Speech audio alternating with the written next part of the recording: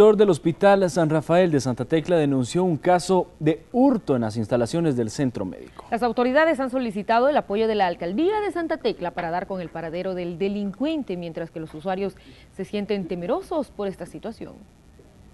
Fingiendo estar enfermo es como este sujeto logró entrar a la sala de emergencias del Hospital San Rafael de Santa Tecla. Adentro dijo que visitaba a un familiar que se encontraba ingresado. Las cámaras de videovigilancia instaladas en el lugar captaron cómo se desplazó hasta hurtar el maletín de una doctora. Entra, eh, queda registrada su, entrada en la unidad de emergencia por las dos cámaras que tenemos que están pues haciendo un cruce de la entrada y salida de la unidad de emergencia.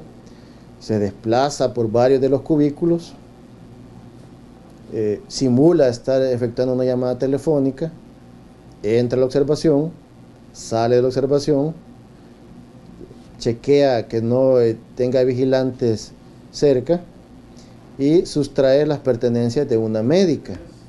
Las autoridades del hospital pidieron la colaboración de la alcaldía de Santa Tecla para darle seguimiento al caso y lograr identificar al delincuente. Tener la identidad de esta persona para poner la denuncia, no solamente con la evidencia de video, sino que también con el nombre de esta persona. Si el sistema de videovigilancia municipal puede darnos más elementos que nos pueden decir si se subió a una motocicleta, si lo recogió con vehículo automotor. Los visitantes al centro asistencial expresan temor ante esta situación y piden más controles. Sería necesario porque, verdad, como acuérdese usted que este lugar es un lugar público. Aquí asiste de todo.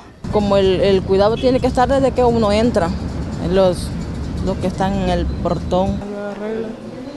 Van a ser más estrictas. Tras este incidente, el director afirmó que la seguridad en el Hospital San Rafael aumentará y que en los próximos días se implementarán más cámaras de videovigilancia en otros puntos para velar por el bienestar de pacientes, visitantes y empleados. Con imágenes de Verábalos, un informe de Kelly Abrego.